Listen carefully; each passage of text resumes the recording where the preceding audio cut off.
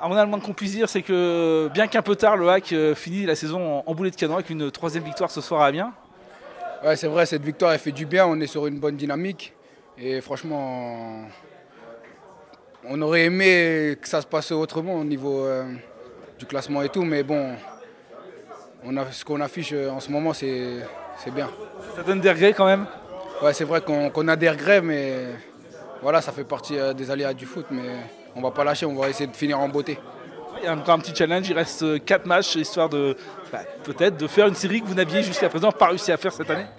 Ouais, il reste 4 matchs, on va essayer de bien, bien les finir, on va essayer de sortir avec les 3 points à chaque fois. On va tout faire pour, et voilà. Ouais, et puis le fait du match à titre personnel, c'est ce premier but en équipe euh, en professionnel. Alors là, on imagine que euh, l'instant a été magique. Ouais, c'est vrai que ce premier but, il me fait du bien il était important pour moi et franchement, je, suis super content. Et voilà, on va continuer. J'espère que la semaine prochaine aussi, je marquerai. Raconte-nous un peu ce but là, qui tu te retrouves tout seul euh, devant le but. T'as plus qu'à pousser? Ouais, c'est ça, j'ai plus qu'à pousser. Mais il y, a, un beau travail juste avant. J'ai essayé de, la jouer. J'ai vu mon partenaire, il était au deuxième poteau. Puis c'est l'instant, on m'a dit de suivre. J'ai suivi et voilà, j'étais là au bon moment.